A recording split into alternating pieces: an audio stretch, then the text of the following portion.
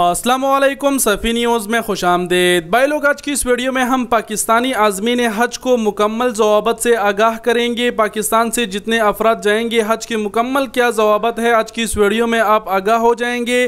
दूसरी बात, ये हज दरख्वास्तों के हवाले से भी बात करेंगे। सऊदी अरब से भी हमारी ये वीडियो देखी जाने वाली है तो सऊदी अरब की जो हज दरख्वास्तें हैं, जो तसरी जिसे कहते हैं, उस हवाले से भी बात करते हैं। वीडियो को पूरा देख सबसे पहले मैं पाकिस्तानी आज़मीन हज के लिए बात करते चलूँ कि पाकिस्तान में इस वक्त नौ मई से तमाम तर बैंकों ने जो हज की दरख्वास्तें हैं, वो वसूल करना शुरू कर दिए है और जो आखिरी तारीख है, वो तेरह मई दो हज़ार बाईस है, यानी दो दिन, तीन दिन बाकी है। तेरह मई के बाद किसी की दरख्वास्त वसूल नहीं की जाएगी। लिहाजा आप सबसे दरख्वास्त है कि इस वीडियो को मुस्तक पर तक ज़रूर शेयर करें, ताकि वो जाने क्योंकि बड़े तादाद में ऐसे अफराद होते हैं जो इंतज़ार करते हैं कि कब जो है दरख्वास्तें वसूल होना शुरू होगी, ताकि वो अपना दरख्वास्त जमा कर दे।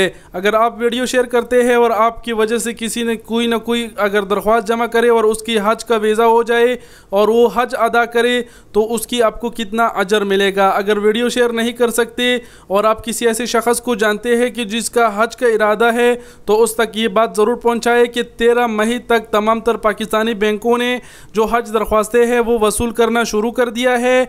आप अपना दरख्वास्त जाके किसी बैंक में जमा करवाए। ये तो हज दरख्वास्तों के हवाले से हमने बात की। यहाँ पर सऊदी अरब के हवाले से भी बात करेंगे, जो तस्री है। सऊदी अरब के हवाले से फ़िलहाल जो है ना, वो वसूल करना शुरू नहीं हुआ है। जब सऊदी अरब ऐलान करेगा, वेबसाइट ऑनलाइन या फिर ऐसे ही आप जाके अगर तस्री बनवाना चाहते हैं तो उस हवाले से भी इन हम वीडियो ज़रूर बनाएँगे। फ़िलहाल सऊदी हुकूमत की जानब से तस्री नहीं खोला गया है। मज़ीद पाकिस्तानी आज़मीन हज के हवाले से बात करते हैं। वजारत मजहबी अमूर ने अपने ऑफिशियल ट्विटर अकाउंट पर हज के हवाले से दो सफात पर मुश्तमिल यहाँ पर जवाबत जारी किए हैं। उनके ऑफिशियल जो ट्वीट है, वो ही आपके साथ शेयर करते हैं, क्योंकि वो उर्दू में है। सबसे पहले जो आप देख पा रहे हैं, लिखा गया है, आज़मीन हज की आसानी और सहूलत के लिए कोशिशा वजारत मजहबी अमूर, वजारत मजहबी अमूर और बिन मज़हब अमहंगी ने आज़मीन हज के परजोर असरार पर मंदरज झेल महसूस सूरतों में चंद कवायद को नरम किया है। नंबर वन पर लिखा गया है, जिन आजमी ने हज के पासपोर्ट पाँच जनवरी दो हज़ार तेईस तक कर आमद नहीं, वो अपने पासपोर्ट के अदा के लिए पासपोर्ट ऑफ़िस के पर अहम करदा टोकन पर भी हज दरख्वास्त जमा करवा सकते हैं। बशर्तन के वो नए पासपोर्ट अठारह मई दो हज़ार बाईस तक लाजमी जमा करवा दे।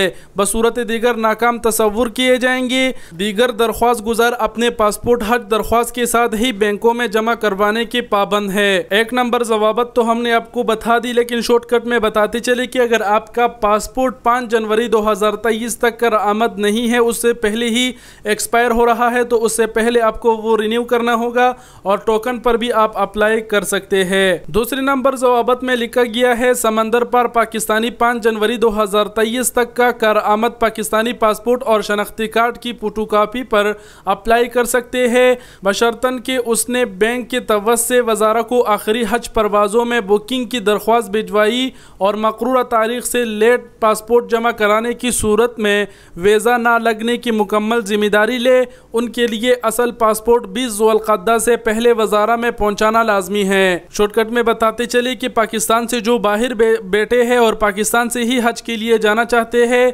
तो वो भी अप्लाई कर सकते हैं। बीस जोलकदा से पहले उनको अपना जो पासपोर्ट है वो वजारा में पहुंचाना लाजमी होगा। तीसरे नंबर जवाबत में कहा गया है कि साल 2015 से 2019 के दरमियान हज करने वाले अफराद इस साल सरकारी हज स्कीम में दरख्वास्त देने की अहल नहीं। माँ सेवाई वो मर्द हजरात जो किसी ऐसे खातून रिश्तेदार के शर्य महरम हो, जिसने खुद भी मजगूरा अरसे के दौरान हज न किया हो। चौथे नंबर में कहा गया है कि 12 साल से कम उम्र बच्चे भी हज के लिए अप्लाई कर सकते हैं, जिनकी वैक्सीन नहीं हुई।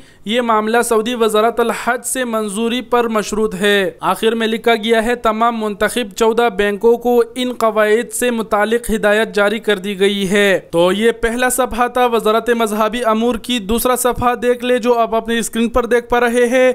लिखा गया है, सरकारी हज स्कीम के आजमीन मुतवजो हो। नीचे लिखा गया है, सऊदी हुकूमत ने तैयारियों को मुकम्मल करने के लिए सोलह मई दो हज़ार बाईस का वक़्त मुकर किया है।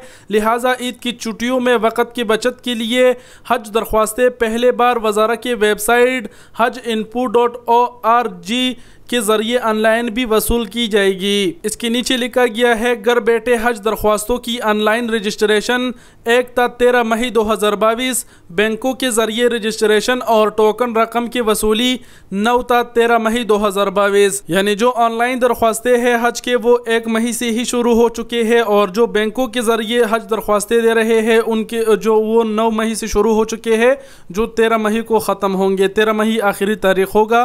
कोशिश करे तेरह मई तक अपना दरख्वास्त जमा करवाए। मजीद नीचे लिखा गया है, तमाम आजमीन हज के लिए नामजद बैंकों में टोकन रकम पचास हज़ार रुपए जो कि हज पैकेज का हिस्सा होगी, तेरह मई तक जमा करवाना लाजमी है। नीचे मजीद लिखा गया है, हज दरख्वास्तें मंदरजा झेल शरात के तहत वसूल की जाएगी। शरात में लिखा गया है, सऊदी अरब से मिलने वाले हज अखराज के तफसीत अभी तक नामुकम्मल है, लिहाजा हज अखराज और दीगर शरात का ऐलान बाद में किया जाएगा। ताहम सऊदी अरब में सहूलियात की कीमतों और टैक्स शराह में इजाफे के बायस अखराज का तखमीना सात से दस लाख के दरमियान मुतव है। सरकारी हज स्कीम की कुरंदाजी ग्रुपों की बुनियाद पर पंद्रह मई को होगी। कामयाब आजमीन हज को बकाया रकम तीन दिन के अंदर अंदर जमा करवाना लाजमी होगा। इमसाल इक्यासी हज़ार एक सौ बत्तीस पाकिस्तानी हजाज कराम परिजा हज अदा कर सकेंगे। मशीन रेडेबल पासपोर्ट की मियाद पाँच जनवरी दो हज़ार तेईस है, जबकि कर आमद शनाख्ती कार्ड और ताज़ा तरीन सेहत का सर्टिफिकेट भी लाजमी है। दरख्वास्त गुजार के लिए उम्र के बलाई हद पंद्रह अगस्त दो हज़ार बाईस को पैंसठ साल से जायद न हो। सऊदी तालीमत के मुताबिक कोरोना वैक्सीन बूस्टर डोज का सर्टिफिकेट लाजमी है।